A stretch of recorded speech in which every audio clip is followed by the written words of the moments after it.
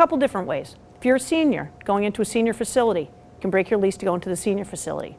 If you're the victim of domestic violence, you need to go into a shelter, you can break your lease. Third way, there's an express clause in the lease allowing you to get out. It's called a kick-out clause. You'd be allowed to leave for a certain provision, say buying a home.